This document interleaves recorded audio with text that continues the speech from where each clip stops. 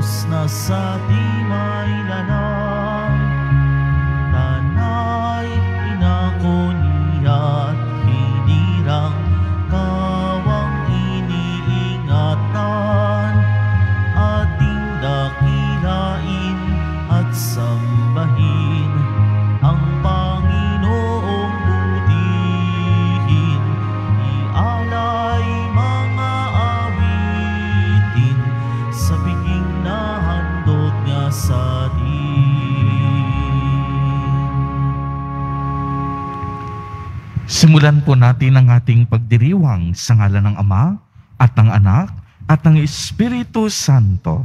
Amen. Ang pagpapala ng ating Panginoong Yesu Kristo, ang pag-ibig ng Diyos Ama at ang pakikipagkaisa ng Espiritu Santo naway sumainyong lahat. At sumayo rin. Mga kapatid kay Kristo at mga kadiboto, muli tayo ay tinipon ng ating Nuestro Padre, Jesus Nazareno, bilang kaanib ng angka ng Diyos.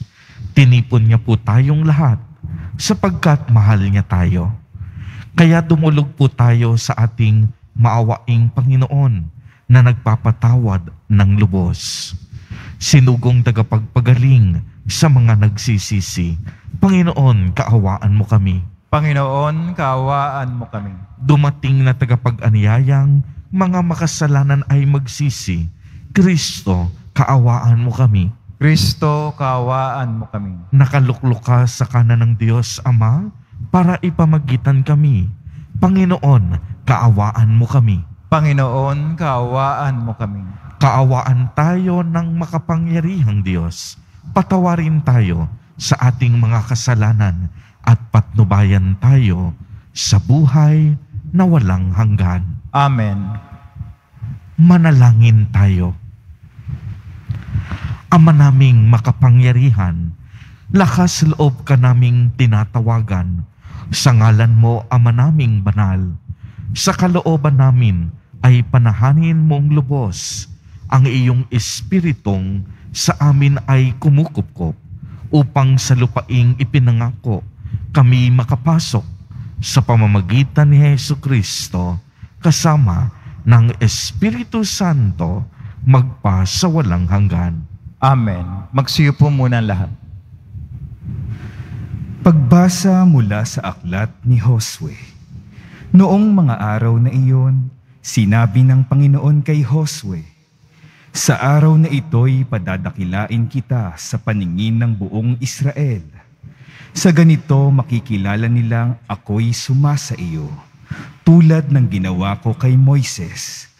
Sabihin mo sa mga saserdoteng Levita na magdadala ng kaba ng tipan na magtuloy na sila sa ilog Hordan. Ngunit hihinto pagtungtong ninyo sa tubig. At tinawag ni Josue ang mga tao. Halikayo at pakinggan ninyo ang ipinasasabi ng Panginoon, ang inyong Diyos. At sinabi niya sa mga tao, Dito ninyo malalaman na sumasa inyo ang Diyos na buhay. Pagdating ninyo roon, lilipulin niya ang mga kananeyo. Ang kaba ng tipa ng Panginoon, ang Panginoon ng sangkalupaan, ay mauunang itatawid ng ilog Hordan.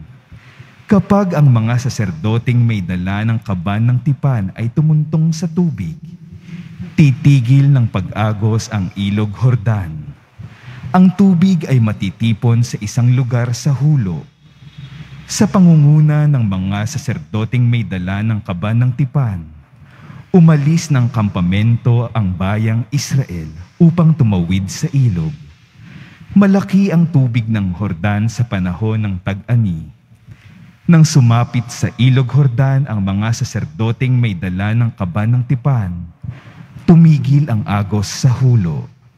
At ang tubig ay natipon sa tapat ng bayan ng Adam, lunsod na nasa tabi ng sartan.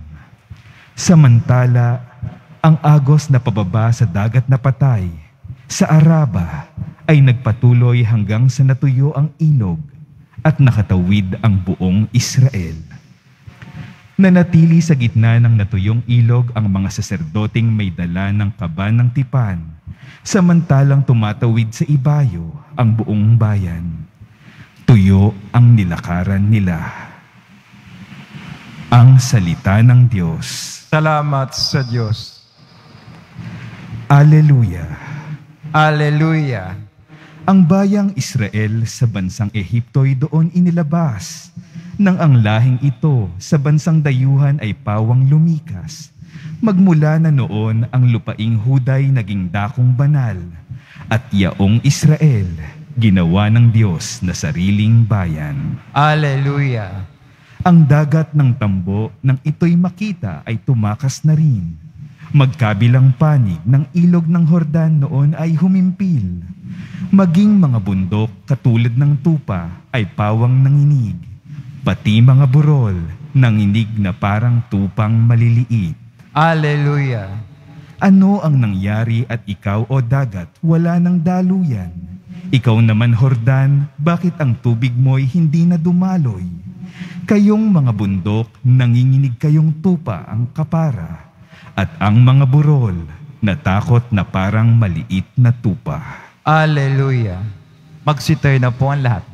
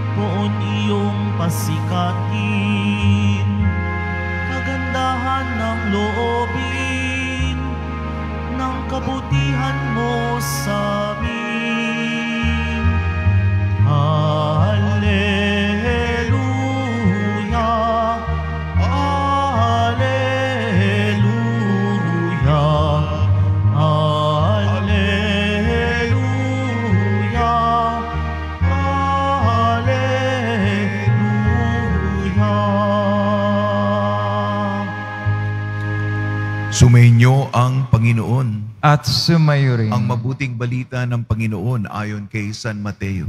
Papuri sa iyo, Panginoon. Noong panahong yun, lumapit si Pedro at nagtanong kay Jesus, Panginoon, makailan kong patatawarin ang aking kapatid na paulit-ulit na nagkakasala sa akin? Makapito po ba? Sinagot siya ni Jesus, Hindi ko sinasabing makapito kung hindi pitumput ulit pa nito. Sapagkat ang paghahari ng Diyos ay katulad nito. Ipinasya ng isang hari na pagbayarin ng kanyang mga lingkod na may utang sa kanya. Unang dinala sa kanya ang isang may utang na sampung milyong piso. Dahil sa siya'y walang ibayad, iniutos ng hari na ipagbili siya ang kanyang asawa, mga anak at lahat ng ari-arian upang makabayad. Nanikluhod ang taong ito sa harapan ng hari at ng makaawa. Bigyan pa ninyo ako ng panahon at babayaran ko sa inyo ang lahat. Naawa sa kanyang hari kaya ipita, ipinatawad ang kanyang utang at pinayaon siya. Ngunit pagkaalis niya roon ay nakatagpo niya ang isa sa kanyang kapwa lingkod na may utang na limang daang piso sa kanya. Sinunggaban niya ito at sinakal. Sabay wika, magbayad ka ng utang mo. Naglumuhod iyon at nagmakaawa sa kanya, bigyan mo pa ako ng panahon at babayaran kita. Ngunit hindi siya pumayag at sa halip, ipinabilanggo niya ang kanyang kapwa lingkod hanggang sa ito'y makabayad. Nang makita ng kanyang mga kapwa lingkod ang nangyari, sila'y labis na nagdamdam. Pumunta sila sa hari at sinumbong ang nangyari. Kaya't pinatawag siya ng hari, Ikaw, napakasama mo, sabi niya. pinatawad kita sa utang mo sapagkat nagmakaawa ka sa akin, nahabag ako sa iyo, hindi ba dapat baring, karing, mahabag sa kapwa mo at sa galit ng hari siya'y ipinabilanggo hanggang sa mabayaran niya ang kanyang utang. Gayon din ang gagawin sa inyo ng aking amang nasa langit kung hindi ninyo patatawarin ang inyong kapatid. Pagkatapos sabihin ni Jesus ang mga bagay nito, siya'y umalis sa Galilea at nagtungo sa lupain ng Judea sa kabila ng ilog Hordan. Ang mabuting balita ng Panginoon. Pinupuri ka namin, Panginoong Heso Kristo. Magsiyo po muna lahat.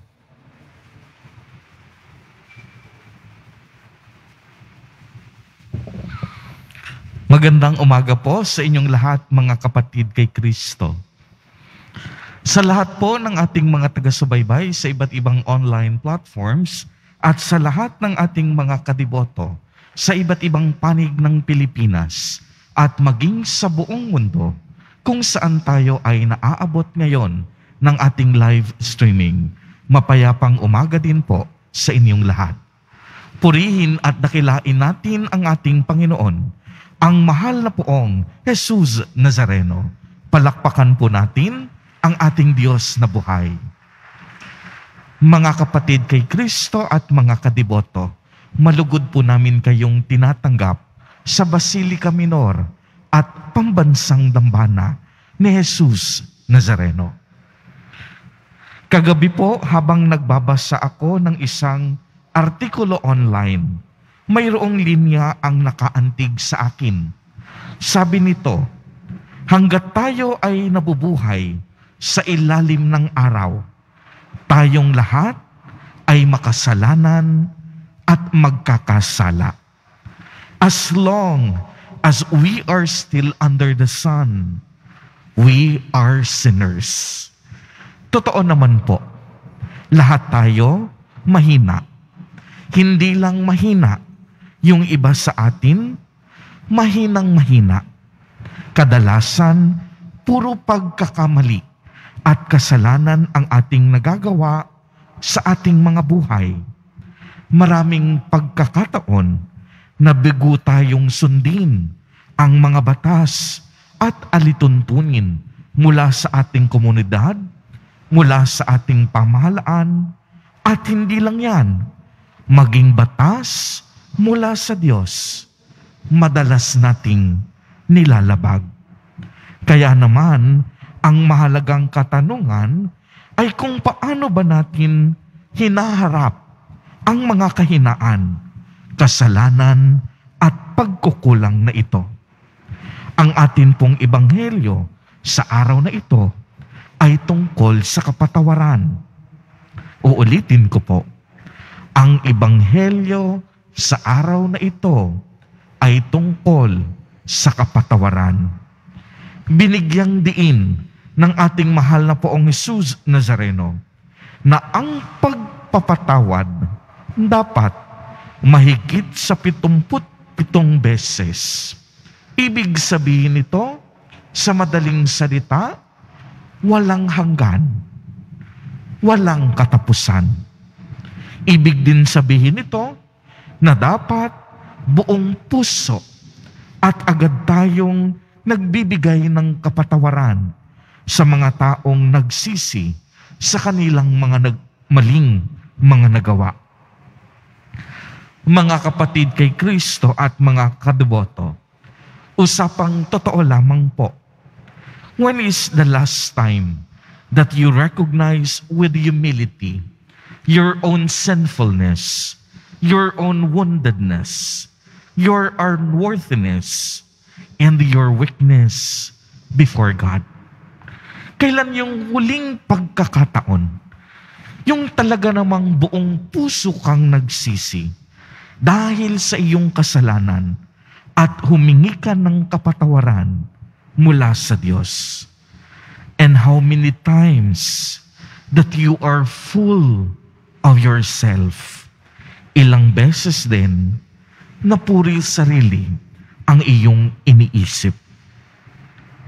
Kung tayo ay punong-puno ng ating mga sarili at punong-puno ng pagmamalaki, mahihirapan po tayong makita ang kabutihan at kagandahang loob ng Diyos.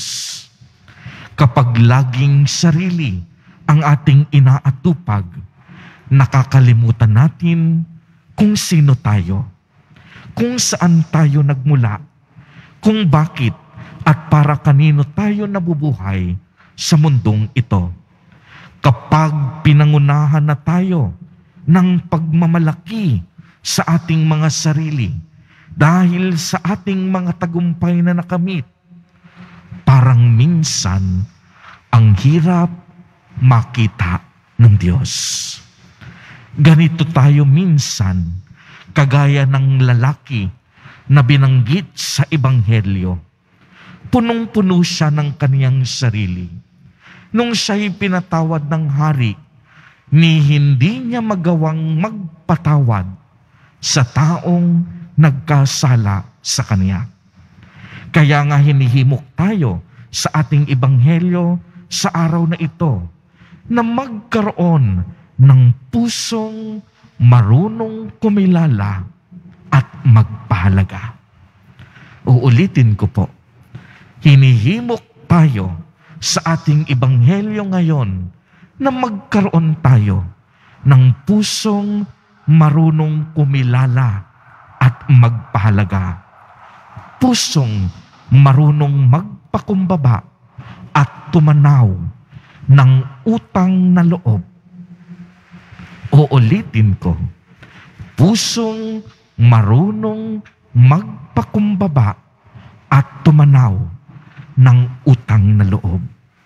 Sa totoo lamang po, lagi ko na po itong ibinabahagi. Ang utang na loob, hindi natin kayang bayaran. Ang utang na loob, tinatanaw.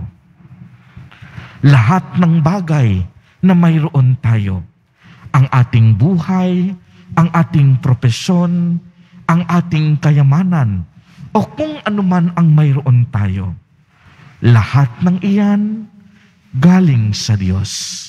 Lahat ng mayroon tayo, biyaya at pagpapala na mula sa Diyos. Lahat ng iyan, utang na loob natin sa ating Diyos. At kailanman, hinding-hindi natin kayang bayaran ang ating utang na loob sa Diyos. Kaya ang mga biyaya at pagpapala na ating natatanggap, ito ay ating tinatanaw.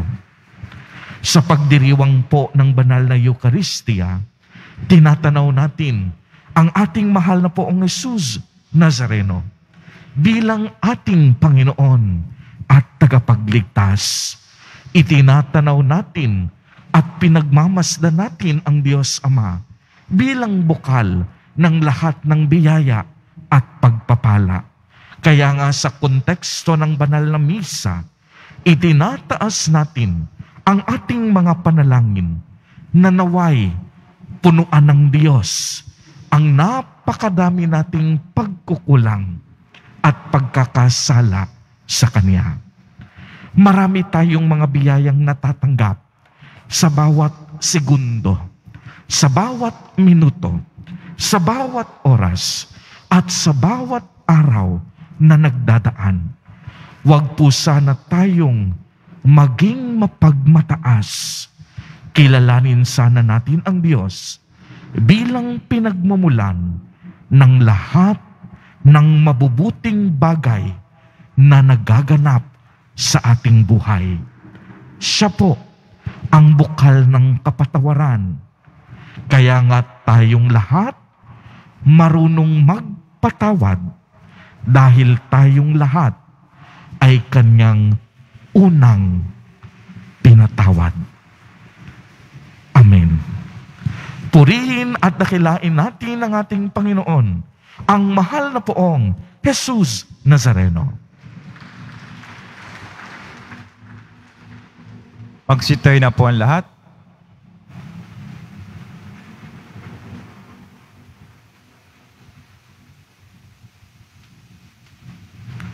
Minamahal kong mga kapatid, manalangin tayo sa Diyos upang makapagdulot ng pakikipagkasundo sa daigdig ang kaniyang bayan na nakadama ng kaniyang pagpapatawad at sa bawat panalangin ang atin pong itutugon, mahabaging hari, padaluyin mo ang iyong pagpapatawad sa amin. Mahabaging Hari, padaluin mo ang iyong pagkapatawad sa amin. Ang bayan ng Diyos na pinalaya ng dugo ni Kristo, naway hindi magkahiwa-hiwalay at mamuhay sila sa pagkakaunawaan at kapayapaan. Manalangin tayo. Mahabaging Hari, padaluin mo ang iyong pagkapatawad sa amin. Ang mga may dinaramdam o sama ng loob, bunga ng mga kalupitan at pagkakamaling ginawa sa kanila. Naway huwag magkimkim ng hinanakit sa kanilang puso, bagkus maging bukas sa kapayapaan ni Kristo. Manalangin tayo. Mahabaging Hari, padaluin mo ang iyong pagkapatawad sa amin. ang mga nahihirapang magpatawad. Naway mapagtanto at maunawaan ang mayamang habag ng Diyos sa bawat isa at matutong makapagpatawad mula sa puso. Manalangin tayo. Mahabaging Hari, padaluin mo ang iyong pagkapatawad sa amin. Ang mga nakadarama ng malalim na sugat ng pisikal at espiritual na pagkakamali, naway makatagpo ng kagalingan sa pagpapatawad ni Kristo. Manalangin tayo. Mahabaging Hari, padaluin mo ang iyong pagkapatawad sa amin. ang mga tapat na namayapa, naway patawarin sa kanilang mga kasalanan. Manalangin tayo. Mahabaging Hari, padaluin mo ang iyong pagkapatawad sa amin. Ama naming nasa langit, masdan mo ng may habag ang aming mga pagkakamali. Iadya mo kami sa katigasan ng puso at tulungan mo kaming maging handang makapagpatawad sa mga tinamo naming mga pasakit upang mabuklod na muli ang mga nagkakahiwa-hiwalay. Hinihiling namin ito sa pamamagitan ni Kristo na aming Panginoon. Amen. Magsiyo po muna ang lahat.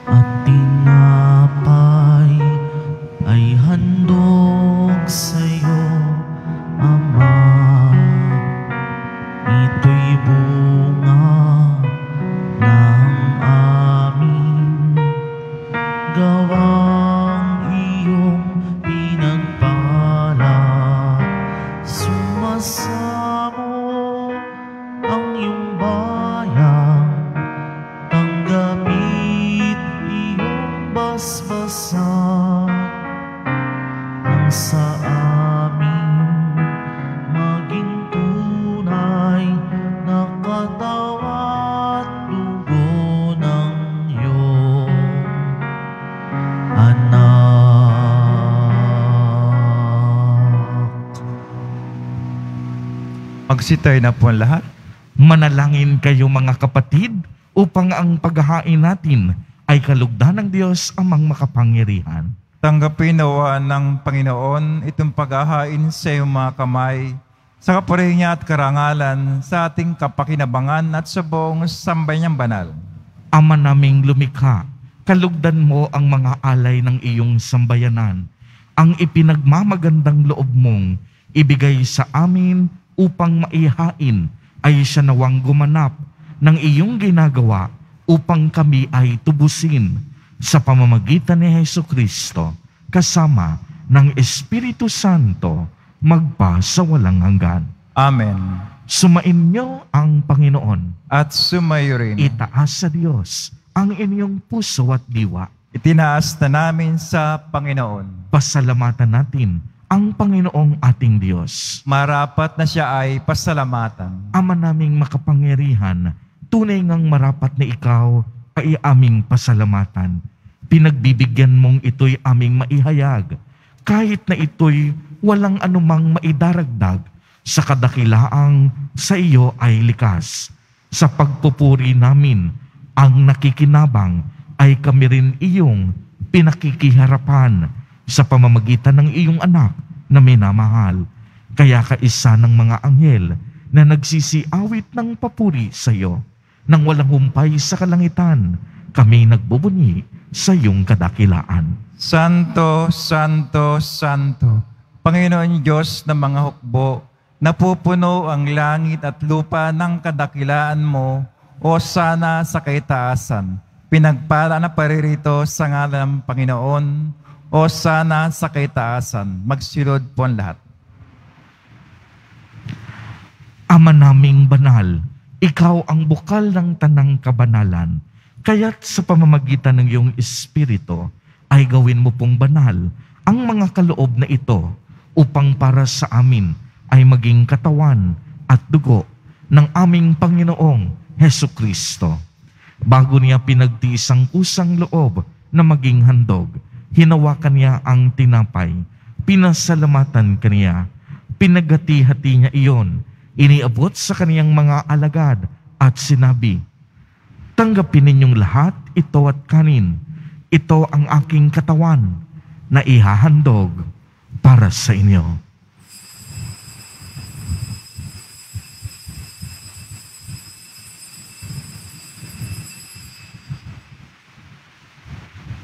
Gayon din naman noong matapos ang hapunan, hinawakan niya ang kalis, muli kaniyang pinasalamatan, iniabot niya ang kalis sa kaniyang mga alagad at sinabi, Tanggapin ninyong lahat ito at inumin.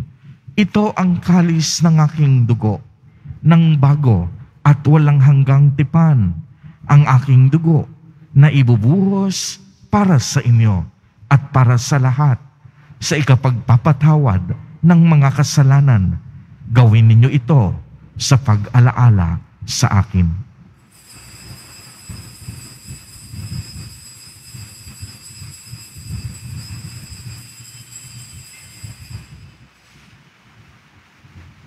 Magsitayo na po ang lahat. Ipagbunyi natin ang misteryo ng pananampalataya. Kristo'y namatay, si Kristo'y nabuhay, si Kristo'y babalik sa wakas ng panahon. Ama, ginagawa po namin ngayon ang pag-alaala sa pagkamatay at muling pagkabuhay ng iyong anak. Kaya't iniaalay namin sa iyo ang tinapay na nagbibigay buhay at ang kalis na nagkakaloob ng kaligtasan. Kami po'y nagpapasalamat dahil kami iyong minarapat na tumayo sa harap mo para maglingkod sa iyo. Isinasamo namin na kaming magsasalo-salo sa katawan at dugo ni Kristo ay mabuklod sa pagkakaisa sa pamamagitan ng Espiritu Santo. Ama, lingapin mo yung simbahang laganap sa buong daigdig. Puspusin mo kami sa pag-ibig kaysa ni Francisco na aming Papa at ni Jose na aming Obispo at ng Tanang Kaparian. Alalahanin mo rin ang mga kapatid namin na himlay na may pag-asang sila'y muling mabubuhay, gayon din ang lahat ng mga pumanaw. Kaawan mo sila at patulin sa iyong kaliwanagan.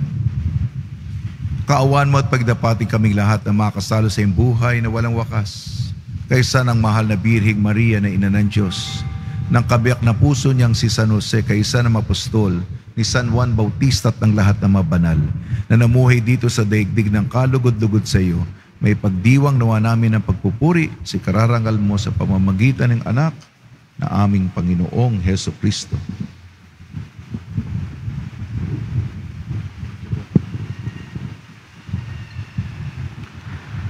sa pamamagitan ni Kristo, kasama niya at sa Kanya, ang lahat ng parangal at papuri ay sa iyo, Diyos amang makapangyarihan, kasama ng Espiritu Santo, magpa sa walang hanggan. Amen.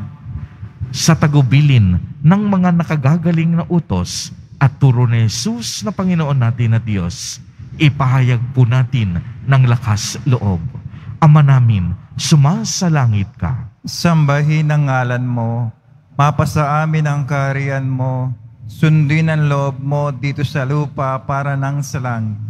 Bigyan mo kami ngayon ng aming kakanin sa araw-araw at patawarin mo kami sa aming mga sala para ng pagkapatawad namin sa nagkakasala sa amin at huwag mo kami pahintulot sa tukso at yadya mo kami sa lahat ng masama. Hinihiling namin na kami iadya sa lahat ng masama, pagkalooban ng kapayapaan araw-araw, iligtas sa kasalanan, at ilayo sa lahat ng kapahamakan, samantalang aming pinananabikan ang dakilang araw ng pagpapahayag ng tagapagligtas naming si Heso Kristo. Sapagkat iyo ang kaharian at ang kapangyarihan, ang kapurihan magpakailanman. Amen. Panginoong Heso Kristo, sinabi mo sa iyong mga apostol, Kapayapaan ang iniiwan ko sa inyo. Ang aking kapayapaan ang ibinibigay ko sa inyo. Tunghayan mo ang aming pananampalataya at huwag ang napakarami at paulit-ulit naming pagkakasala. Pagkalooban mo po kami ng kapayapaan at pagkakaisa ayon sa iyong kalooban kasama ng Espiritu Santo magpa sa walang hanggan. Amen. Ang kapayapaan ng Panginoon ay laging sumainyo. At sumayo rin. Magbigayan po tayo ng kapayapaan sa isa't isa.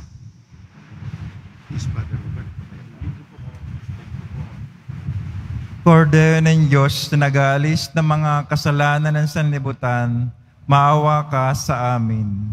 Kordero ng Diyos na nag-aalis ng mga kasalanan ng sanlibutan, maawa ka sa amin. Kordero ng Diyos na nag-aalis ng mga kasalanan ng sanlibutan, ipagkalo mo sa amin ang kapayapaan. Magsilod po ang lahat.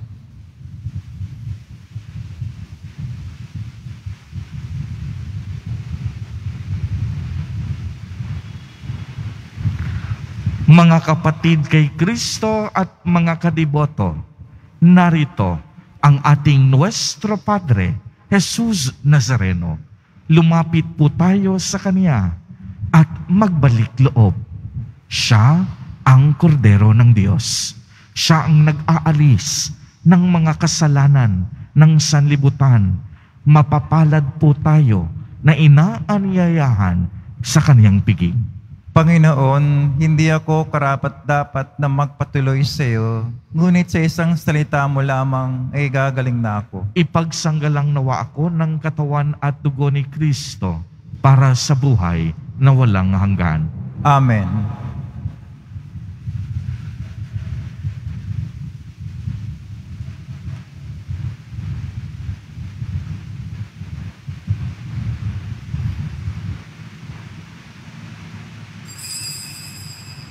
Para sa lahat ng tatanggap ng banal na komunyon, sasagot po tayo ng Amen. Pagkasabi ng pare o lay minister ng katawan ni Kristo at isubo agad sa bibig bago malis sa harapan ng pare o lay minister. Sumunod po tayo. Maraming salamat po.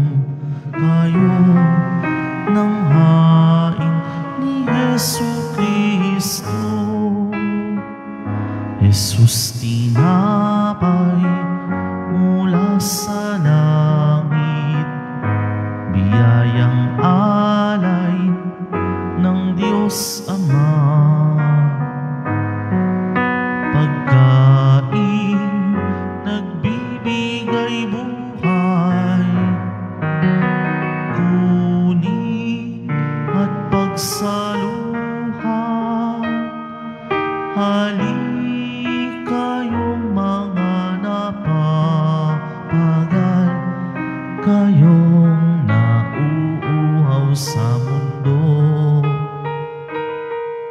Dali ko maituminom kayo ng hain ni Yesu Kristo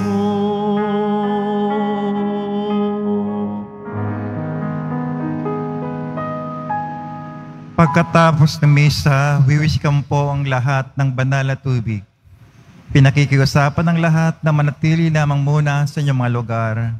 Tanging sa Quezon Boulevard o sa Plaza San Juan lamang ang labasan ng lahat. Sumunod po tayo. Maraming salamat po sa inyong pagdalaw at pagsisimba sa Basilica Minor at Pambansang Dambana ni Jesus Nazareno.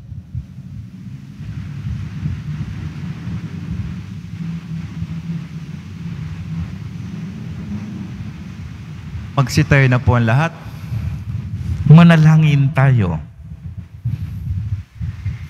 Ama naming mapagmahal, ang pakikinabang namin sa piging na banal ay magdulot nawa sa amin ng kaligtasan at magtanghal sa amin sa luningning ng iyong katapatan sa pamamagitan ni Heso Kristo kasama ng Espiritu Santo magpasawalang hanggan. Amen. Sumainyo ang Panginoon At sumayo rin. pagbabasbas. Mahal na poong Jesus Nazareno, inihayag mo sa pamamagitan ng krus ang walang maliw na pag-ibig ng Diyos sa sangkatauhan. Pakinggan mo ang kahilingan ng iyong angkan na nagsusumamo sa iyo. Makamtanawa nila ang iyong katugunan at tanggapin ang kasagutan na may utang na loob na tinatanaw. Basbasan din po ninyo ang mga daladala nilang mga imahen at dasalan. Sa pamamagitan ng bendisyon na ito, naway maalala nila ang mga pangako nila noon sa binyag na ikaw ang kanilang iibigin at paglilingkuran bilang Panginoon magpasawalang hanggan Amen. at pagpalain po kayong lahat at ng inyong buong pamilya ng makapangyarihang Diyos, Ama, Anak, at Espiritu Santo. Amen. Humayo kayong taglay ang pag-ibig at kapayapaan ng poong Jesus Nazareno. Salamat sa Diyos.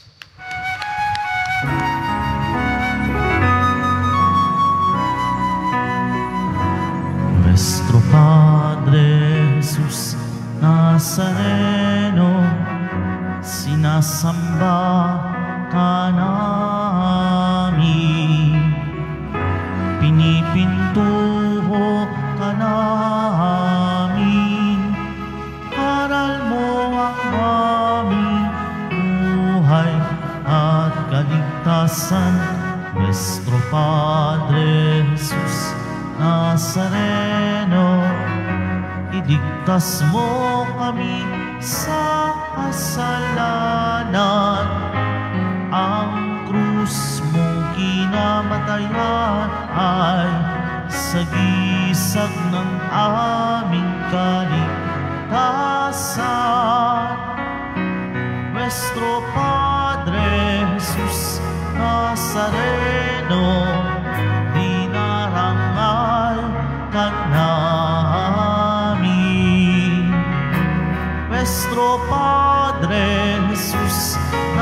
Nazareno, niluluwalhati ka namin.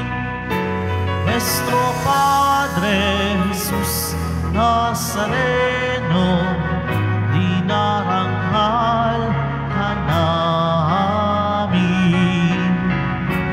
Nuestro Padre Jesus Nazareno,